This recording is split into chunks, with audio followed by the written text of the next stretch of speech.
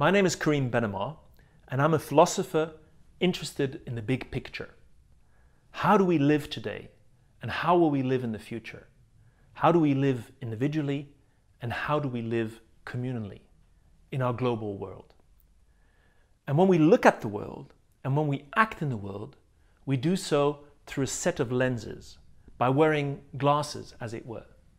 Through these glasses, we see the world in a certain way, and we also act in the world in a certain way.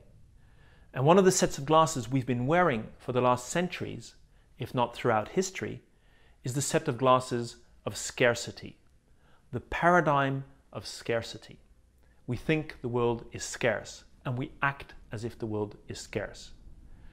Now, what would it be if instead of this paradigm of scarcity, we look at the world through these glasses of abundance, through a paradigm of abundance? What would it change?